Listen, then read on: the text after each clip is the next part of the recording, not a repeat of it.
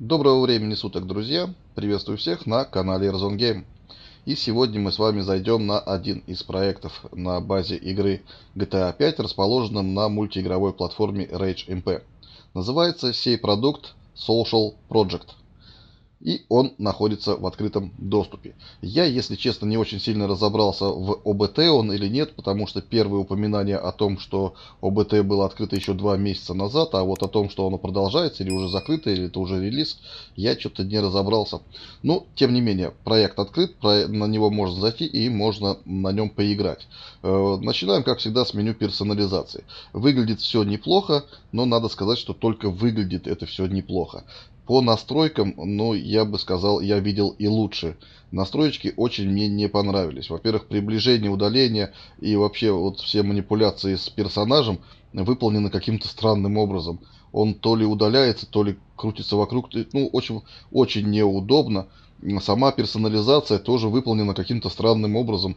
Сначала мы начинаем э, с прически. Конечно, можно там начинать с конца э, списка, но если начинать как, как положено сверху, то начинаем почему-то с прически, и там уже потом идут э, нос, губы там и все остальное. Ну, в общем, странно выполнено, мне оно не понравилось. Еще раз скажу, что выглядит прикольно, а вот э, как механика, э, ну, работает, мне совсем не понравилось.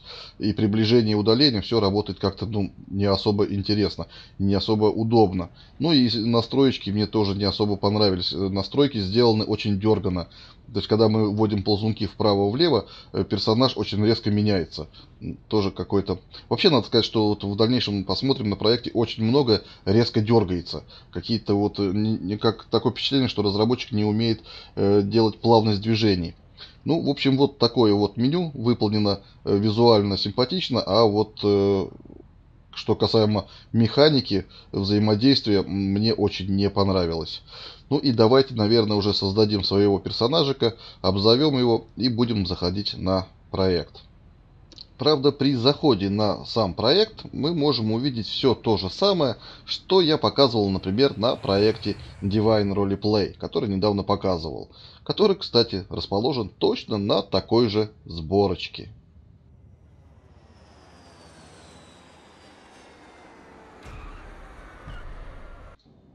Ну, вот мы и появились в аэропорту, естественно. Кстати, прикольно сделана точка появления, к сожалению, на втором этаже, но вот в таком вот уютном закоулочке, с которого надо выйти, ну, а затем спуститься вниз.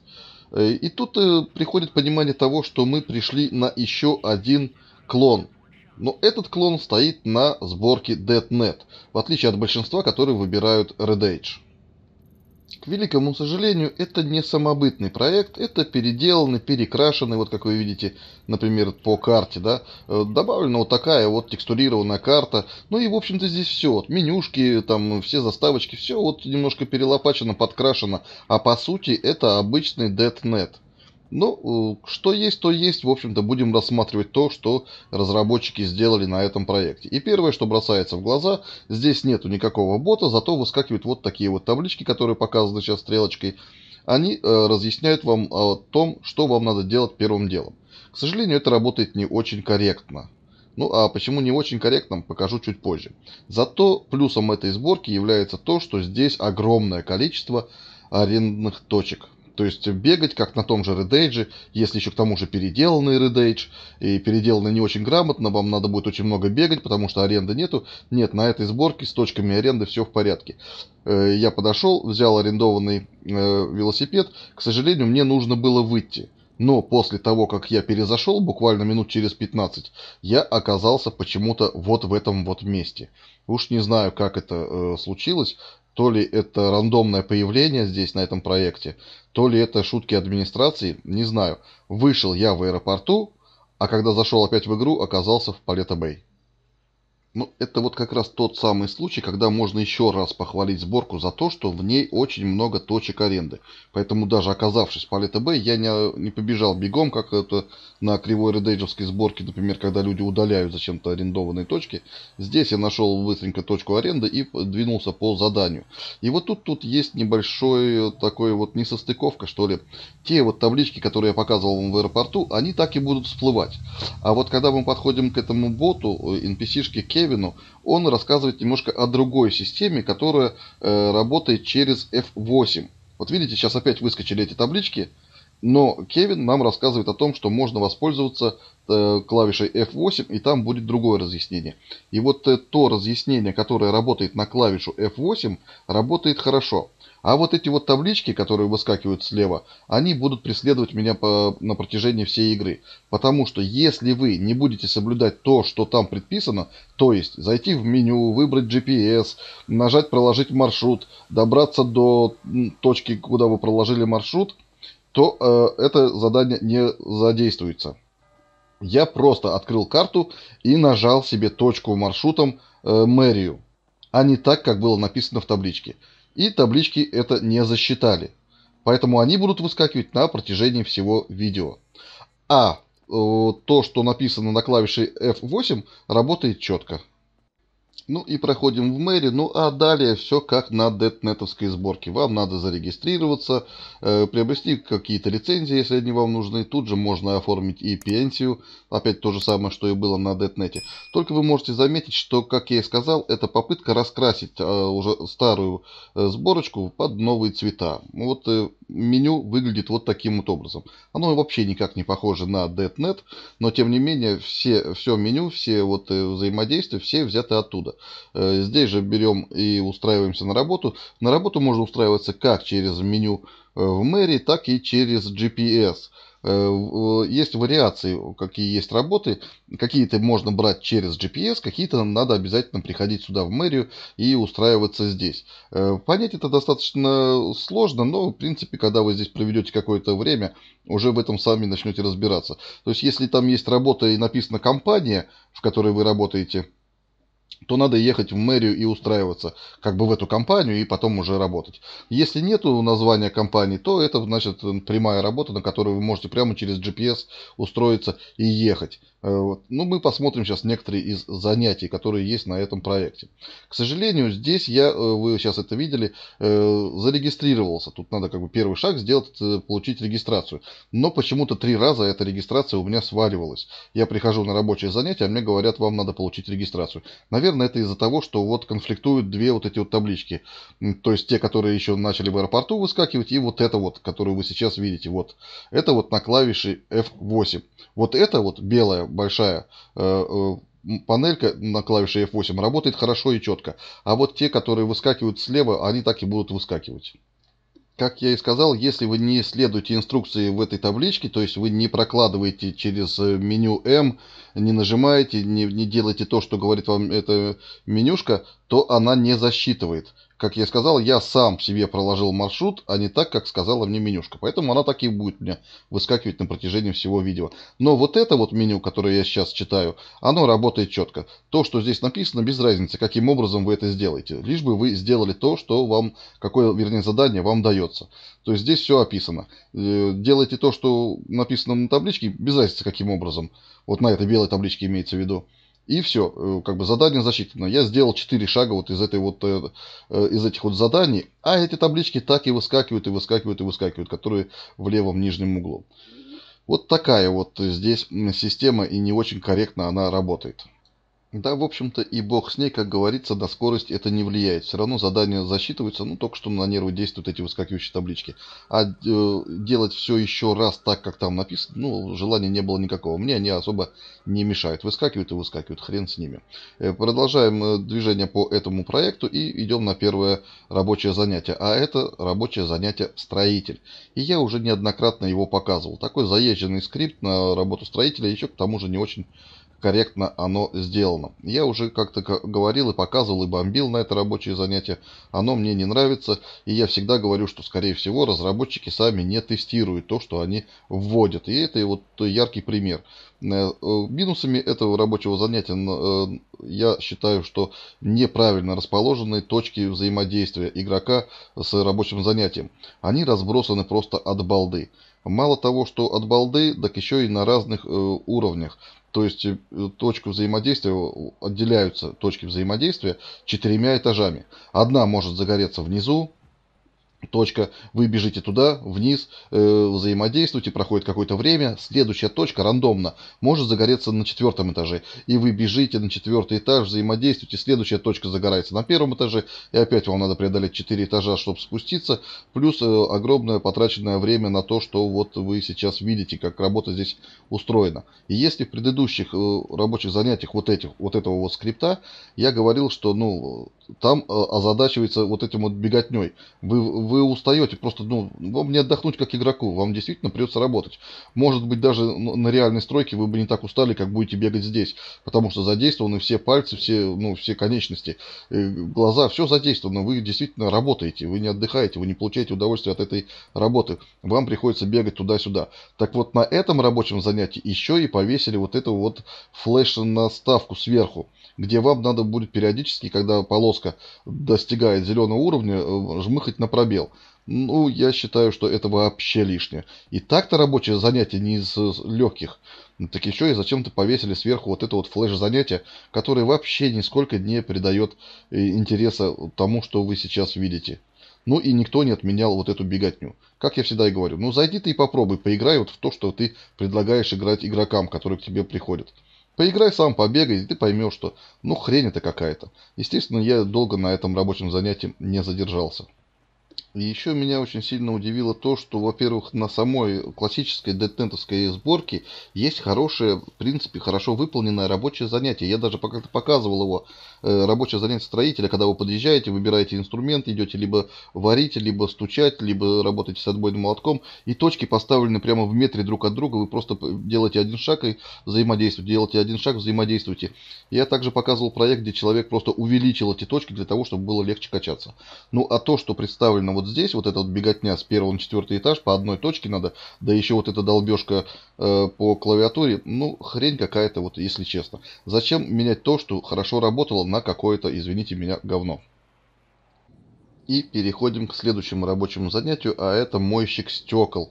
Э, в общем-то, тоже такой распространенный скрипт, который очень часто встречается.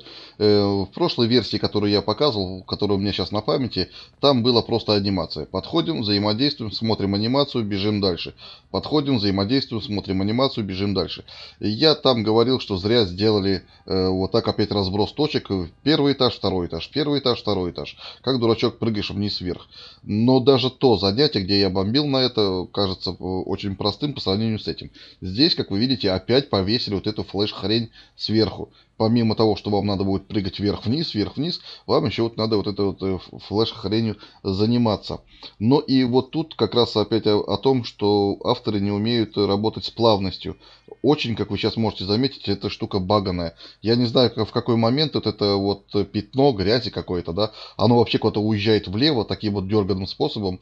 Э, потом возвращается. Я не знаю, что я такое делал, но она вот таким вот образом Э, почему-то у меня э, иногда получалось. Если, ну, ничего, в принципе, вообще ничего не делать, просто водить вправо-влево, работает конкретно, э, четко. Но если там чуть-чуть вправо ты руку уведешь, то это пятно почему-то уезжает куда-то вот таким вот образом, а потом возвращается.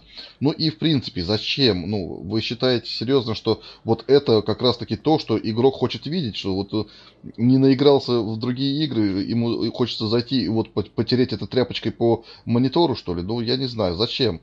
Э, сама анимация здесь есть, на которую игрок может просто, зайдя на триггер, посмотреть, да, вот, ну, понимаете, игрок, он не есть игрок. Он не хочет работать, он хочет играть. А здесь вы заставляете игрока работать, реально работать. Ну да, здесь, конечно, не как настройки. Здесь столько манипуляций делать не надо. Но все равно зачем это? Интереса это ну никакого не добавляет игре. Ну, э, как это было, вот такое задротство, так оно и осталось. Ну, в общем, вот такое вот рабочее занятие, которое здесь решили, вот как я и сказал, да, еще одна попытка раскрасить DetNet. Ну, вот таким вот не очень, мне кажется, удачным способом здесь DetNet раскрасили. А, это же... Ни хрена себе, 250 тысяч? Угу. Все, будь здоров, Кентик. На хорошую жизнь. Спасибо, удачи.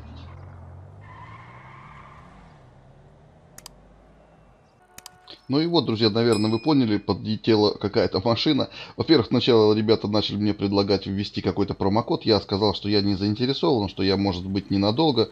Э, поэтому отказался от промокода. Тогда они просто дали мне 250 тысяч и уехали с пожеланием добра. Спасибо, конечно, ребятам, но не стоило, не стоило так заморачиваться. Ну, а мы переходим к следующему рабочему занятию, которое здесь есть. И вот опять э, давайте обращаться к изначальной, стоковой э, или стандартной изначальной версии DetNet, на которой было рабочее занятие строителя, где надо было идти в машину, брать инструмент, и там, в общем-то, было все то, что здесь раздробили зачем-то и сделали вот в таком вот виде. Сама изначальная сборка DetNet, на мой взгляд, она даже учит э, неопытных разработчиков, мне так кажется, э, тому, как должно устроено быть рабочее занятие. Так вот, на DetNet не было разброса точек, а здесь оно есть. И никакой флеш-накладки сверху, конечно же, тоже не было. Э, игроку предлагалось просто полюбоваться со стороны на то, как его персонаж трудится. И, на мой взгляд, это было самое лучшее решение. Здесь же это рабочее занятие раздробили. Раскидали точки, хрен знает как. Вот мы на этом рабочем занятии долбим две точки в одном конце туннеля, а потом бежим в другой конец туннеля и долбим еще две точки. Потом эти точки э, перекидываются в другой конец туннеля, и вот таким вот образом игрок бегает, тратя свое драгоценное время, которое он пришел потратить на вашем проекте. Обращаясь к начальному начальной версии .NET. Но ведь там же было хорошее рабочее занятие, которое от игрока не требовало огромного количества времени, где точки были расставлены рядышком друг с другом, и никакой флеш-накладки там не было. Ну зачем вы все усложняете? Вот мне никак не понять. Ну зайдите, серьезно, вот зайдите, разработчики, поиграйте вы в то, что вы предлагаете. И вы же сами уже поймете, что вы вот этим вот просто воруете у меня время. Ладно, идем дальше. Ну и так как на меня свалилась какая-то сумма денег, то пойдемте сразу же посмотрим себе какую-нибудь машинку, ну и заодно посмотрим. Начнем, естественно, да, наверное, и закончим бюджетным сегментом, представленным на этом проекте. Конечно же, этот магазин всем новичкам э, интересен в первую очередь, поэтому я всегда его и показываю. Именно бюджетный сегмент на проекте. Заметьте, как дергано поворачивается машинка. Это вот опять к тому, что ну, не умеют, видимо, э, настраивать плавность. Очень дергано крутятся машинки, причем все, во всех магазинах. Даже летная техника крутится вот так вот дергано. Зато здесь э, хоть и нету какого-то меню, э, связанного с автомобилем, да, ни каких-то э, показателей скоростных, и там может быть какая-то вместительность багажника, ничего нету. Зато мне понравилось, какое здесь количество цветов представлено покупателю ну, практически весь сегмент цветов здесь есть. Я не знаю, что будет там в кастомизации, если туда заехать. Там вообще, наверное, не осталось никаких цветов. Но цветов просто обалденное количество. Вся, вся, наверное, палитра представлена вам. Пожалуйста, выбирайте любой. Не как это обычно делается, да, там 3-4 цвета вам э, предлагается в автосалоне, а дальше, если хотите перекрашивать, вам надо ехать э, и кастомизировать свою машину. Нет, здесь прямо в изначальном варианте вы можете выбрать ну, практически любой цвет. Э, следующее огромное количество машин. Да, это бюджетный магазин, и здесь, я так понимаю, все стоковые машины собраны. К сожалению, они стоят не по порядку. Ни по цене, ни по мощности, ни по скорости. Ну, никакого порядка нету. Обычный рандом. И тыркать придется очень много. Для того, чтобы подобрать себе машину, придется потыркаться ну, ну, приличное количество времени, потому что машин много. А выбрать ту, которая вам подойдет по вашему кошельку, э, ну, не так-то просто, потому что они вот, если за 200 тысяч, рядом тут же за 2000, следующая может быть за полмиллиона, ну и вот такой вот разброс. Не знаю, вообще реально ли настроить, я так думаю, что все-таки реально настроить, э, например, машины, чтобы стояли по э, цене, там, например, или по скорости, или по мощности, ну уж как-нибудь. Но здесь, к сожалению, рандом. Но машин огромное количество, все стоковые, собранные вот прямо в этом вот бюджетном сегменте магазине. Поэтому вот, так, такой вот у меня получился обзорчик этого магазина. Больше, наверное, показывать магазины не буду, потому что, ну, всем интересен в первую очередь вот этот вот бюджетный магазин. Да, какую-то денежку наковыряли себе, на чем-то надо передвигаться, все сюда при... и идем. Поэтому я всегда показываю именно вот этот вот начальный стоковый, так сказать, бюджетный магазинчик. Ну, а уж кому интересно будет более дорогие, то можете зайти и сами посмотреть, что там есть уже в премиум, в люксовом, ну и так далее. Там, может быть, кого-то интересует мототехника, э, который кстати говоря, я вот э, не часто покупаю, потому что обычно почему-то мотоциклы на э, проекты GTA стоят ну, каких-то запредельных денег. Здесь я, если честно, даже не заходил в магазин с мототехникой, поэтому не знаю, какое здесь количество и какой э, цена у этих вот э, мототехники. Я зашел только вот в этот магазинчик, и следующий, который я посетил, и сейчас я вам его покажу, это магазин э, грузовой техники здесь есть какая-то возможность э, для того, чтобы возить грузы, видимо, на своей машине. Но это требует пятого левела, поэтому показать, как это устроено, я вам не смогу. Ну, а транспорт, вот вы сейчас его видите. Вот такие вот машинки здесь представлены. Ну, все то же самое. Э, цвета добавлены, выбирайте любой. А вот э, по каким критериям машины здесь расставлены, бог его знает. Здесь и автобусы, здесь же и кемперы, здесь же и, и тягачи, здесь же и просто фургоны, будки. Поэтому не знаю, вот по какой логике здесь распространя... распределены машины. Не знаю. И, к сожалению, показать, как э, здесь на них работать, э, тоже не смогу. Потому что, как я сказал, э, перевозка грузов то ли в организации, то ли частно, не знаю. Но она требует пятого уровня. Ну, а по уровням здесь я вам скажу такие достаточно конские требования, поэтому, ну, чтобы дожить до пятого уровня, мне надо здесь потратить огромное количество времени, чего, конечно же, я сделать не смогу. Ну, а автотранспорт, как он выглядит и как это вообще выглядит магазин на этом проекте, вы сейчас видели. А мы переходим дальше. И следующее рабочее занятие, которое бы хотелось показать, просто для сравнения, она называется «Шахтер». Ну, правда, выглядит это вот таким вот образом. Э, шахты здесь нету, здесь есть карьер, поэтому лучше бы, наверное, было его назвать каким-нибудь карьерным рабочим, не знаю, но тем не менее названо шахтер. Хотя шахты никакой здесь нету. Э, работа предстоит нам в карьере, все то же самое, в общем-то один и тот же скрипт, который здесь в общем часто э, применяется, работа с отбойным молотком, но в отличие от той же стройки, в отличие от той же самой работы, только в туннеле, э, таким так называемым раб, э, дорожным работником.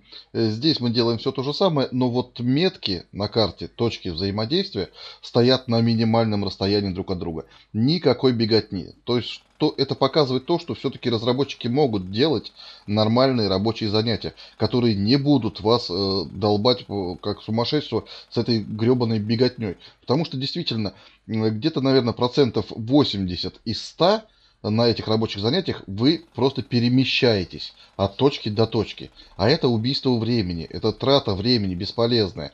Вы ничего не прокачиваете, вы ничего не зарабатываете, вы только бегаете. А это, как я уже и говорил, воровство времени. Здесь же вы можете заметить, точки разбросаны, ну просто вот буквально там 5 метров друг от друга. Эта работа не напрягает вас нисколько. И если с нее снять вот это вот флеш-наложение сверху с долблением по пробелу в нужное время, то вообще будет работа, ну, наверное, самая лучшая на этом проекте. Потому что действительно она ничего от вас не требует. Зашли на точку, нажали кнопку Е взаимодействия, посмотрели на анимацию на своего персонажа, потому что работать должен персонаж, прокачивается персонаж, а не игрок. Зачем мне себя прокачивать? Я умею нажимать на кнопку, не надо мне этого скилла лишнего э, по нажатию на пробел. Мне это ни к чему. Я хочу отдыхать. Я зашел в игру, чтобы отдохнуть. Э, и я наслаждаюсь, смотря на своего персонажа. Еще раз скажу, работать должен персонаж, а не игрок. Вот здесь, в принципе, э, уже работа гораздо легче и интересней. Но вот это вот флеш-наложение, оно, я считаю, вообще ни к чему. Как я сказал, на стоковой версии DeadNet нету никаких флеш-наложений. Там просто идет анимация персонажа. Сиди, и смотри, как э, персонаж работает. Ну, а здесь приходится все-таки вот нажимать в нужный момент вот этот пробел. Да, это не мешки э, грузить в вагоны, но все равно это не дает вам возможности отвлечься, там, сходить в туалет, налить себе кофейку, попить или еще чем-то позаниматься. Вы должны работать вместо своего персонажа. Но здесь хотя бы не тратишь время на бесполезную беготню по несколько этажей или там э, э, километраж по, по этому туннелю, который я показывал. Здесь это все сделано очень компактно, и я считаю, что вот это сделано правильно.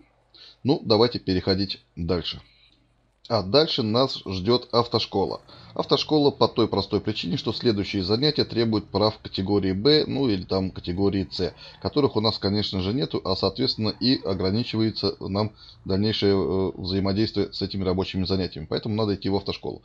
В автошколе хотелось бы только показать само здание. Я на самом деле вижу такое первый раз. Очень красиво оформлено. Тут надо сказать, что вообще э, к зданиям подошли ну, достаточно интересно. И мэрия хорошо оформлена, и вот автошкола очень красиво оформлена. Действительно вижу такое первый раз. Э, может быть, одна из лучших э, вот, интерьеров, которые я видел. Ну, а сдача, конечно же, принадлежит этой сборке. В общем-то, достаточно сложные вопросы. Вопросы взяты из книжки то есть, если вы знаете, если у вас есть права в жизни, то вы сдадите, если нет, то придется э, где-то брать ответы. Надо также отметить, что нету никакого таймера ни на сдачу теории, нету так, также таймера и на сдачу практики. Ну, в остальном все стандартно. Отвечаем на 10 билетов. Если вы сдали, то все остальное уже, то есть практическое занятие, у вас проходит просто катание. Сдаются билеты всего один раз. Дальше просто катаемся по маркерам, причем без разницы, сколько это займет времени и какой.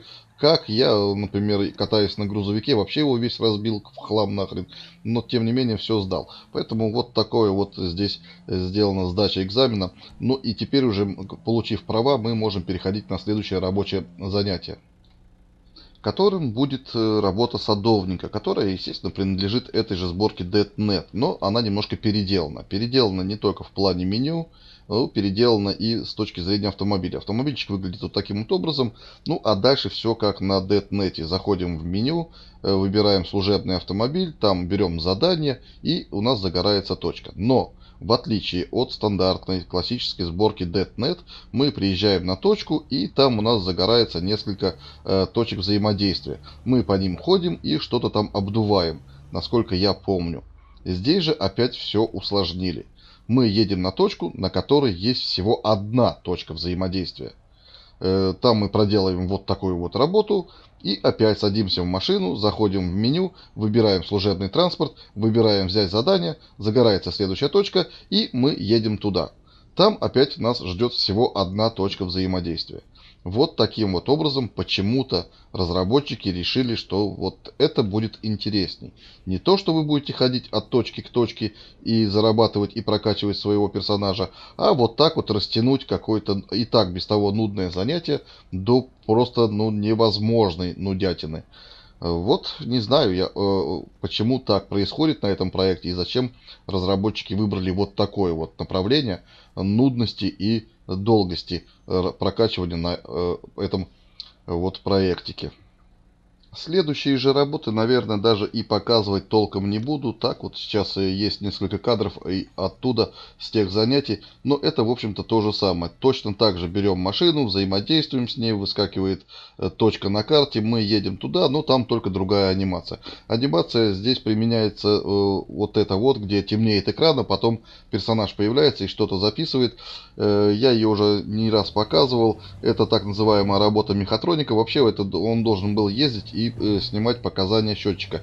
Но э, этот скрипт используется очень часто, так как там э, можно э, сократить анимацию до вот такого вот до такой вот писанины в каком-то блокнотике. И здесь она тоже применяется. Называется уборщик квартир. Ну, только вы подходите к дому, экран гаснет, дальше загорается, он что-то записывает и все. Э, называйте такую работу как хотите. Я уже показывал проект, на котором очень много рабочих занятий было построено вот на этом вот скрипте только меняли название. Доставщик еды, ты приезжаешь, экран гаснет, ты пишешь в блокнотике и едешь дальше. И вот так вот там называли э, рабочие занятия, а стоял всего один и тот же скрипт. То же самое, в общем-то, и здесь. Называйте как хотите, этот скрипт подходит под любую работу. Ну, а больше показать на самом деле и нечего на проекте есть еще какие-то интересные фишки. Так, например, здесь у полиции есть э, собаки, там какие-то овчарки, по-моему, и они действительно им каким-то образом помогают. Но показать этого я вам не смогу. Также не смогу показать и какие-то топовые занятия, потому что они требуют высоких уровней, а уровень здесь качается ну совсем непросто. Ну а как э, устроена работа, вы сами видите. То есть, чтобы здесь прокачаться, ну забегаешься в хлам нахрен. Э, также еще я прочитал, что хотят разработчики сделать э, фермерское хозяйство, но я поездил, поискал, пока что ничего такого я не нашел и не увидел. Ни в списках, ни на карте, ни визуально я ничего не увидел. Ну а в целом вы, в общем-то, наверное, понимаете концепцию данного проекта. В общем-то, все начальное, то, что, с чем вы столкнетесь, если зайдете сюда, если захотите поиграть, вы вот это вот и увидите. Ну, все, что увидит новичок, я, в общем-то, и показал. Вот такой вот проектик, вот такие вот здесь рабочие занятия, взаимодействие, ну и вообще какие-то механики. Э, можно было бы еще побегать по магазину, показать, как здесь выглядит телефон, планшет, тому подобное, менюшки, но и так уже времени очень много. Так что, кому понравился проект, заходите, играйте, получайте удовольствие. Ну, а у меня на этом все. Спасибо всем, кто посмотрел, и всего вам доброго.